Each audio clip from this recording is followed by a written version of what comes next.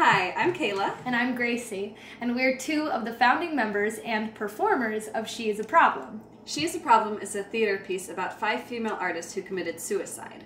Through an interactive gallery installation, audiences are able to get a close, personal look to the lives and works of Francesca Woodman, Sylvia Plath, Diane Arbus, Kay Sage, and Anne Sexton. It's devised, meaning that we as a group wrote and created the piece together. And it's immersive, meaning that instead of sitting in a chair, audiences are free to roam through the space and choose which scenes they would like to watch. We performed the piece last summer in Philadelphia, and now we've been given the opportunity to perform it again at AS220 in Rhode Island as artists in residence. We want to thank everyone who's donated to our campaign so far. Thanks to you, we're that much closer to taking the show to Providence.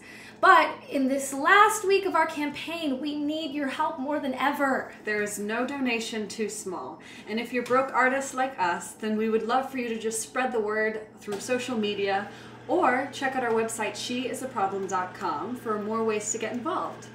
Thank you so much.